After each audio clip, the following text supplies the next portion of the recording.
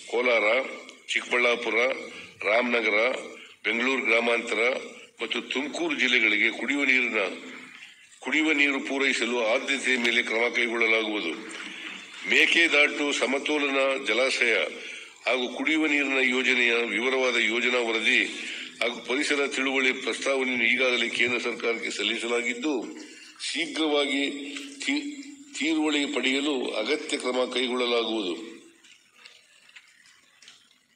ಕಂಪನ್ಸೇಟರಿ ಅಪೋರ್ಸ್ಟೇಷನ್ಗೆ ಅಗತ್ಯವಿರುವ ಭೂಮಿಯನ್ನು ಗುರುತಿಸಲಾಗಿದ್ದು, ಭೂಸ್ವಾಧೀನ ಪ್ರಕ್ರಿಯೆಗಳನ್ನು ಜರುಗಿಸಲು ಆದ್ಯತೆಯ ಮೇರೆಗೆ ಕ್ರಮ ವಹಿಸಲಾಗುವುದು. ಮಧ್ಯ ಕರ್ನಾಟಕದ ಪ್ರಮುಖ ಯೋಜನೆಯಾದ ಭದ್ರಾ ಮೇಲ್ದಂಡೆ ಯೋಜನೆಯನ್ನು ಡಬಲ್ ಇಂಜಿನ್ ಎಂದು ಹೇಳಿಕೊಳ್ಳುವ ಸರ್ಕಾರವಿದ್ದಾಗಿಯೂ ರಾಷ್ಟ್ರೀಯ ಯೋಜನೆಯನ್ನಾಗಿ ಇಲ್ಲಿಯವರೆಗೂ ಅಧಿಕೃತವಾಗಿ ಅನುಮೋದಿಸಿರುವುದಿಲ್ಲ. ಕೇಂದ್ರ ಸರ್ಕಾರವು ಇಪ್ಪತ್ಮೂರು, ಇಪ್ಪತ್ನಾಲ್ಕರ ಸಾಲಿನಲ್ಲಿ ತನ್ನ ಆಯವ್ಯಯದಲ್ಲಿ ಐದು ಸಾವಿರದ ಮುನ್ನೂರು ಕೋಟಿ ರುಗಳ ಅನುದಾನವನ್ನು ಭದ್ರಾ ಯೋಜನೆಗೆ ಘೋಷಿಸಿದ್ದು, ಸದರಿ ಅನುದಾನವನ್ನು ಶೀಘ್ರವಾಗಿ ಬಿಡುಗಡೆ ಮಾಡುವಂತೆ ಕೇಂದ್ರ ಸರ್ಕಾರದ ಮೇಲೆ ಒತ್ತಡ ಏರಿ ಯೋಜನೆಯ ಅನುಷ್ಠಾನಕ್ಕೆ ಆದ್ಯತೆಯ ಮೇಲೆ ಕ್ರಮ ವಹಿಸಲಾಗುವುದು. ಮಹದಾಯಿ ನ್ಯಾಯೀಕರಣದಿಂದ ಕಳಸಾ ಮತ್ತು ಬಂಡೂರ ನಾಲಾ ತಿರುವು ಕುಡಿಯುವ ನೀರಿನ ಯೋಜನೆಗೆ ಹಂಚಿಕೆಯಾದ ಮೂರು ಪಾಯಿಂಟ್ ಒಂಬತ್ತು ಸೊನ್ನೆ ಟಿಎಂಸಿ ನೀರಿನ ಬಳಕೆಗಾಗಿ ಈಗಾಗಲೇ ಜಲ ಜಲ ಆಯೋಗದ ತೀರುವಳಿ ದೊರಕಿದ್ದು ಅವಶ್ಯಕವಿರುವ ಅರಣ್ಯ ತೀರುವಳಿ ಪಡೆದು ಕಾಮಗಾರಿಗಳಿಗೆ ಚಾಲನೆ ನೀಡಲು ಪ್ರಯತ್ನಿಸಲಾಗುವುದು. ಕೇಂದ್ರ ಸರ್ಕಾರದ ಪಿಎಂ ಕೆಎಸ್ವೈ ಎಐಬಿಪಿ ಎಐಬಿಪಿ ಯೋಜನೆಯಡಿ ಇಪ್ಪತ್ತೊಂದು ಇಪ್ಪತ್ತಾರರ ಅವಧಿಗೆ ಪರಿಗಣಿಸುವ ಪಟ್ಟಿಯಲ್ಲಿ ರಾಜ್ಯದ ಕೃಷ್ಣಾ ಮೇಲ್ದಂಡೆ ಯೋಜನೆ ಅಂತ ಹಂತ ಒಂದು ಮತ್ತು ಎರಡರ ವಿಸ್ತರಣೆ ಹಾಗೂ ಸನ್ನತಿ ಏತ ನೀರಾವರಿ ಯೋಜನೆಗಳನ್ನು ಗುರುತಿಸಲಾಗಿದೆ. ಸದರಿ ಯೋಜನೆಗಳಿಗೆ ಸಕ್ಷಮ ಪ್ರಾಧಿಕಾರಿಗಳ ತೀರುವಳಿ ಪಡೆದು ಕೇಂದ್ರ ಸಹಾಯಧನ ಪಡೆಯಲು ಆದ್ಯತೆಯ ಮೇಲೆ ಕ್ರಮ ಜರುಗಿಸಲಾಗುವುದು.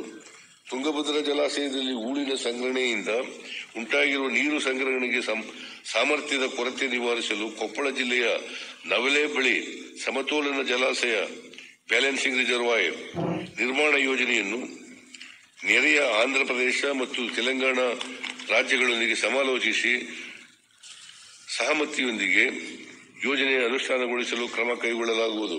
ಕೃಷ್ಣಾ ನ್ಯಾಯಾಧೀಕರಣ ಎರಡರ ತೀರ್ಪಿನಲ್ಲಿ ಕೃಷ್ಣಾ ಮೇಲ್ದಂಡೆ ಯೋಜನೆ ಹಂತ ಮೂರಕ್ಕೆ. ಹಂಚಿಕೆಯಾಗಿರುವ ನೂರ ಮೂವತ್ತು ಟಿಎಂಸಿ ನೀರಿನ ಬಳಕೆಗಾಗಿ ಯೋಜನಾ ಕಾಮಗಾರಿಗಳ ಜೊತೆಗೆ ಭೂ ಸ್ವಾಧೀನತೆ ಹಾಗೂ ಪುನರ್ವಸತಿ ಮತ್ತು ಪುನರ್ ನಿರ್ಮಾಣಕ್ಕೆ ಆದ್ಯತೆ ನೀಡಿ ಯೋಜನೆಯ ಶೀಘ್ರ ಅನುಷ್ಠಾನ ಕ್ರಮ ಕೈಗೊಳ್ಳಲಾಗುವುದು. ಸಣ್ಣ ನೀರಾವರಿ. ನಮ್ಮ ಸರ್ಕಾರದ ಇಂದಿನ ಅವಧಿಯ ಅಂತ್ಯದಲ್ಲಿ ಸಣ್ಣ ನೀರಾವರಿ ಇಲಾಖೆಯಲ್ಲಿ ಐದು ಸಾವಿರದ ಆರುನೂರ ಐವತ್ತೈದು ಕೋಟಿ ಮೊತ್ತದ ಬಾಕಿ ಕಾಮಗಾರಿ ಇದ್ದು ನಿಕಟಪೂರ್ವ ಸರ್ಕಾರವು ತಮ್ಮ ಅವಧಿಯ ಅಂತ್ಯಕ್ಕೆ ಇದನ್ನು ಹನ್ನೆರಡು ಸಾವಿರದ ಏಳುನೂರ ಇಪ್ಪತ್ತೊಂಬತ್ತು ಕೋಟಿ ರೂಗಳಿಗೆ ಹೆಚ್ಚಿಸಿದೆ.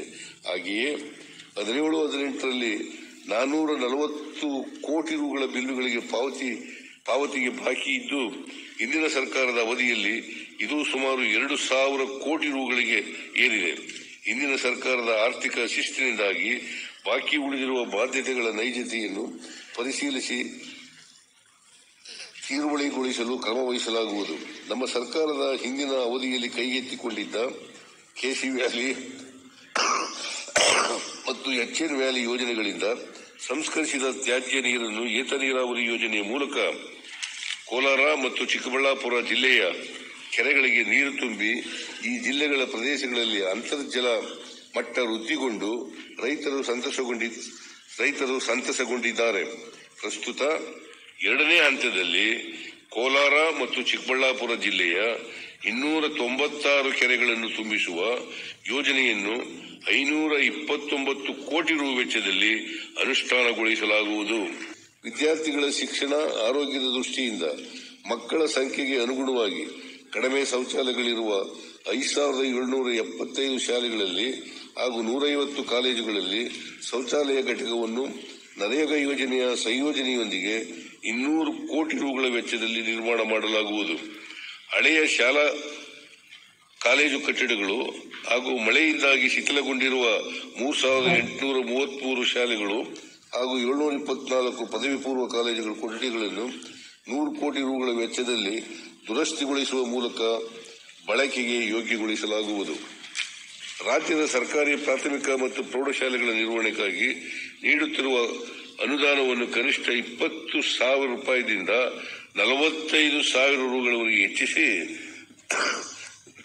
ನಲವತ್ತೇಳು ಸಾವಿರದ ಇನ್ನೂರ ಎಪ್ಪತ್ತೆರಡು ಶಾಲೆಗಳು ಹಾಗೂ ಸಾವಿರದ ಇನ್ನೂರ ಮೂವತ್ತೊಂದು ಪದವಿ ಪೂರ್ವ ಕಾಲೇಜುಗಳ ನಿರ್ವಹಣೆಗಾಗಿ ಒಟ್ಟಾರೆಯಾಗಿ ನೂರ ಐವತ್ಮೂರು ಕೋಟಿ ರು ಅನುದಾನ ಒದಗಿಸಲಾಗುವುದು.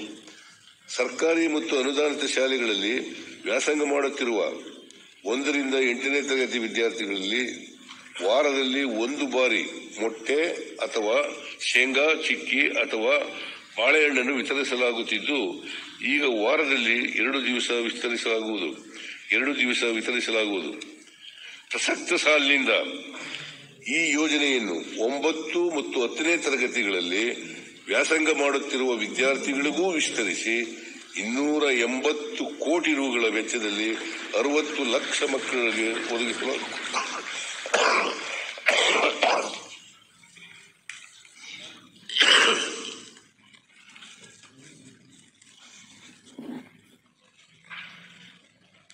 ಮಕ್ಕಳಲ್ಲಿ ಉಂಟಾಗಿರುವ ಕಲಿಕಾ ನ್ಯೂನತೆಯನ್ನು ಹೋಗಲಾಡಿಸಲು ಸುಮಾರು ಮೂವತ್ಮೂರು ಲಕ್ಷ ವಿದ್ಯಾರ್ಥಿಗಳಿಗೆ ಎಂಬತ್ತು ಕೋಟಿ ರೂಗಳ ವೆಚ್ಚದಲ್ಲಿ ಕಲಿಕಾ ಬಲವರ್ಧನೆ ಕಾರ್ಯಕ್ರಮವನ್ನು ಹಮ್ಮಿಕೊಳ್ಳಲಾಗುವುದು. ಮರುಸಿಂಚನ ಎಂಬ ಹೊಸ ಯೋಜನೆಯಡಿಯಲ್ಲಿ ಕಲಿಕೆಯಲ್ಲಿ ಹಿಂದುಳಿದ ಒಂದೂವರೆ ಲಕ್ಷ ವಿದ್ಯಾರ್ಥಿಗಳನ್ನು ಪ್ರೌಢ ಹಂತದ ಪರೀಕ್ಷೆಗಳಿಗೆ ಸಜ್ಜುಗೊಳಿಸಲು ವಿಶೇಷ ತರಬ- ತರಬೇತಿಗಳನ್ನು ನೀಡಲಾಗುವುದು.